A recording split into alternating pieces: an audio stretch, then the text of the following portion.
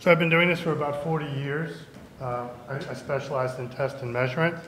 I, I write, I lecture. Two of my books are translated into Chinese if you're interested, and uh, you'll be able to see those at the conference. Most engineers associate power integrity with voltage transients, and we're well aware of these types of issues, CPUs, FPGAs, with very high speed current demands. The dynamic currents induce dynamic voltages, and the dynamic voltages present very wideband signals that interfere with the operation of the FPGA. But there's not really a good understanding of how power integrity relates to RF circuitry, which is quite different in its nature and also in its sensitivities. And so today I'm actually going to show some of the other noise sources and how they get in, involved in RF and microwave. Now, the first problem is that experts don't really agree on a definition of what power integrity is. And so if we were to take five power integrity engineers, we would probably get somewhere around 11 different opinions about what the definition of power integrity might be. I chose just two that I found that had been published. And one is by Patrick Carrier, who I do respect. And he said that what power integrity means is minimizing the AC impedance between the power and ground rails. And that sounds like an interesting definition. Eric Bogatin, one of my heroes, says that no, power integrity is about managing the voltage as it appears on the die. And what I'm going to tell you is that I disagree with both of those. And I don't expect you to believe me. You may not even know who I am, um, but I'm right. I may not always be, uh, be right, but I'm never wrong. And so I'm going to prove to you today that neither one of these is an accurate statement, and it's part of the reason that we have so many power integrity issues. Of course, we could just agree to disagree. There's not necessarily a problem with that. Engineers disagree with each other all the time. Electrical engineers and mechanical engineers, for example, disagree 100% of the time. And there's not anything wrong with that unless we're getting hurt in the process. And so the issue with us agreeing to disagree is that we all get hurt by the process. Now, I said I'm going to prove to you today that neither one of these definitions works in RF and microwave technology, and that really power integrity is an ecosystem that every engineer contributes to. Now, to be fair, some engineers contribute in a good way, and some engineers contribute in a bad way, but in the end, they all contribute. I'm going to use a very simple demo board to prove my theory and also to show why it is that I disagree with both of these definitions of what power integrity really is. Now, I'm not the first to do this experiment. In fact, this experiment has been done by many other engineers, and one that particularly fascinates me is a series of articles from Texas Instrument. Two engineers that both work for the same company, Thomas Neu, who says that for sensitive circuits we should always use switching power supplies. Switching power supplies are the right choice for sensitive circuits. And at the same time, there's another engineer, also at Texas Instrument, writing series of articles on why it is that you should never use switching regulators to power sensitive circuits. This always fascinated me. They work for the same company. I might understand it if they work for different companies. I know both of these engineers, they're both very smart. How is it that two such smart people that both work for the same company could disagree on something as basic as should we use switching power supplies or should we use linear power supplies in order to provide power to our sensitive circuits? And that's a really interesting question, and I'm going to answer that for you in a minute. The first question really is, does the power supply matter at all? There are engineers, for example, Larry Smith from uh, Qualcomm, now from Micron Technologies, says that we don't really need to worry about the voltage regulator in the scheme of power integrity because all of the high-speed stuff is handled by the decoupling uh, chips on the board. That's not true, but it does sound nice. So I took this very simple oscillator that I powered from three different power supplies, and somehow I, I uh, missed this. So I can power this, this clock from three different power supplies, a linear regulator, a switching regulator, or an external power source that I will refer to as noiseless. And I can switch between those, and I can measure phase noise of that oscillator. And here's three different phase noise plots, and their coincident jitter. And so I think the first thing I can prove to you is without a shadow of a doubt, the voltage regulator matters. I used three different regulators. In one, I ended up with 1.5 picoseconds of jitter. In the switching power supply, I ended up with 6.6 picoseconds of jitter. Uh, the worst of them, 22 picoseconds of jitter. And so depending on which power supply we choose, we'll end up with significantly different phase noise and significantly different jitter. Now, another interesting aspect of this chart is that in the switching power supply, which is the green waveform, we can clearly see the spur created by the switching frequency at 2.8 megahertz. Theoretically, that means that we shouldn't have any noise below 2.8 megahertz, and yet for sure we can see the phase noise is significantly degraded at much lower frequencies than that. How is that? We can look at that by uh, visualizing what the noise density looks like from the three different power supplies. The switching power supply is the largest, nearly one millivolt peak to peak, and that's mostly in the low frequency range up to one megahertz. In the low dropout linear regulator, we have much lower noise at about 200 microvolts peak to peak, and that was the middle jitter. It wasn't um, as bad as the switching regulator, but it was much worse than the noiseless power supply. And then we have what we refer to as our noiseless power supply, which is actually a, a picotest signal injector, and that has noise density down at about one nanovolt per root hertz, and that says that we have noise of about two microvolts. So where does all of this noise come from, and how does it get into our oscillators, and how does it get into our phase noise? In this particular case, it gets there by jitter. That's fascinating to me. That's jitter-induced jitter. We end up with jitter in our oscillator that was caused by jitter in the switching frequency of the switching power supply. And we can clearly see that jitter if we look at the switching edge, the switch node of the switching regulator. We can see that when we look at the, the trigger on the bottom waveform there, the waveforms look very nice. There is no ringing, and the leading and trailing edges both look sharp.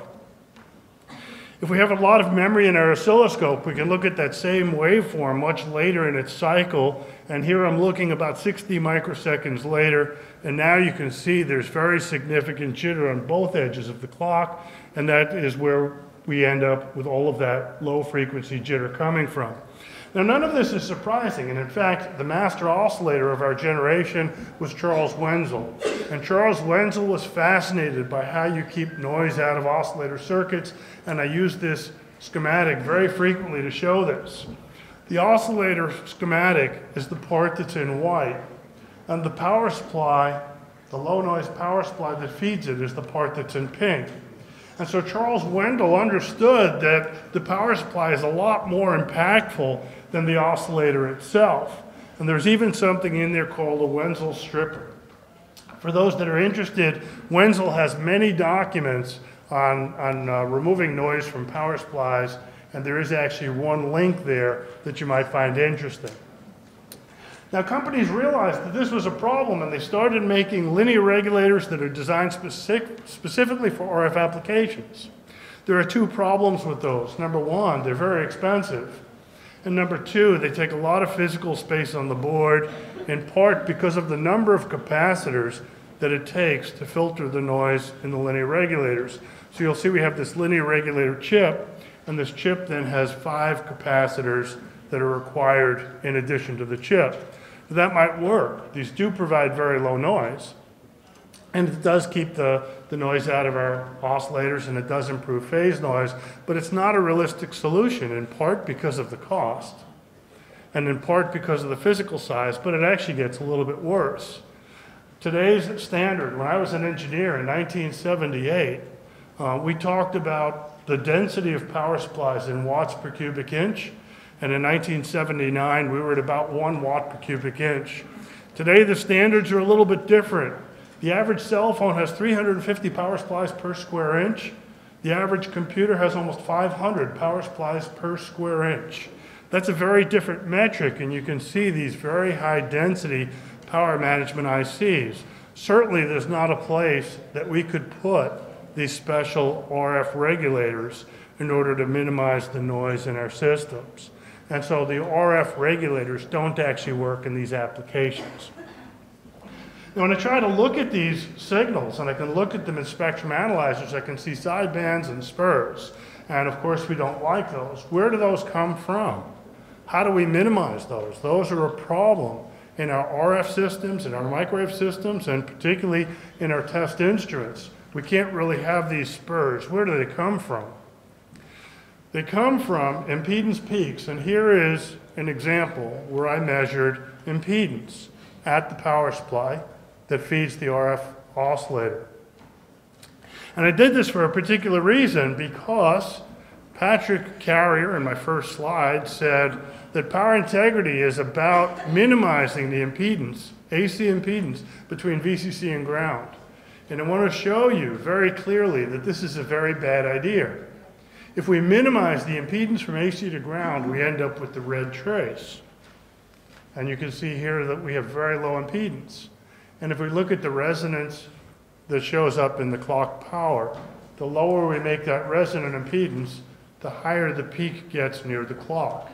That's counterintuitive, and it says that the lower I make the impedance of the power supply, the worse the spur is going to get. That's counterintuitive, and it makes us struggle a lot. On the other hand, what if I went in the other direction? What if I made the power supply look like it had a very high output impedance? So I purposely added a 2.49 ohm resistor in series with the power supply in order to make that AC impedance look very high. And guess what? There is no peak. And because there is no peak, there also is no spur. And so I disproved the statement that Patrick Carrier made that power integrity is about minimizing the AC impedance between VCC and ground, because in doing so, we actually created a spur. While the counter to that, raising the impedance, eliminated the spur. This is one reason we have so much trouble with power integrity in RF and microwave systems, is because things appear to be counterintuitive. And they disagree with those things that we've been told by the experts. Now, if I extend this further, I could say that most jitter in distributed systems today actually comes from the power supply.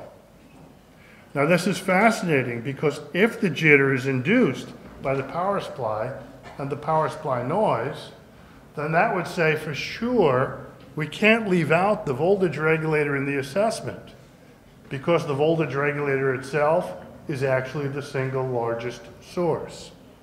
That also means that if we extend that further, it means that for us to simulate jitter in our systems, we must also simulate it with the power supply.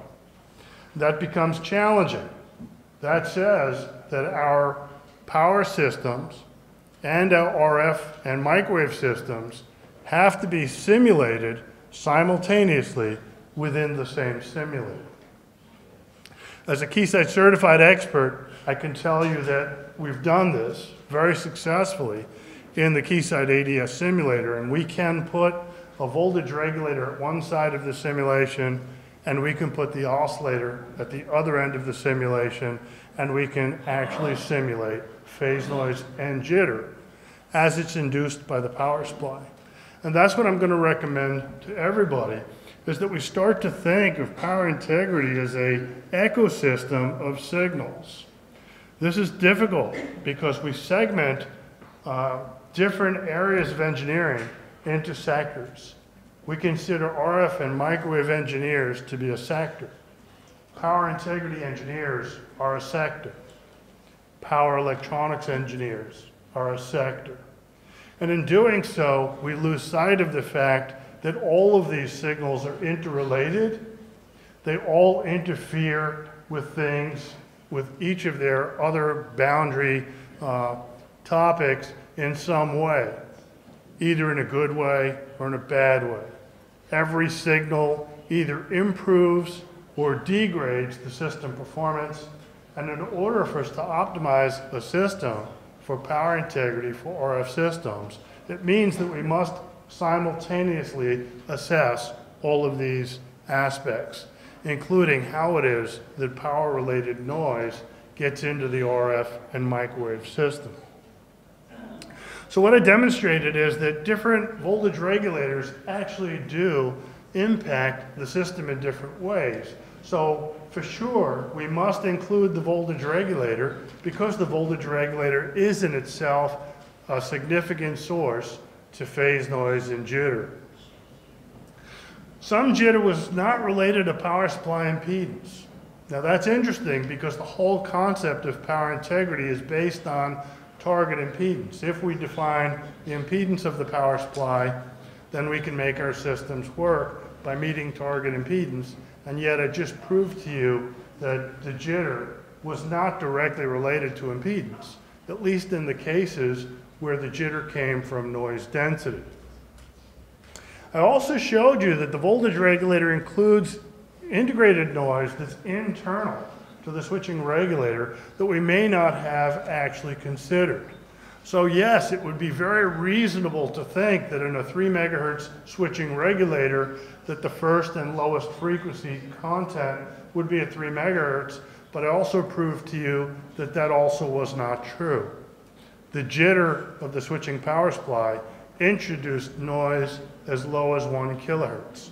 And so we need to be aware that there are noise sources that we understand and expect, and there are noise sources that we don't understand and didn't expect, and yet they all get into our systems.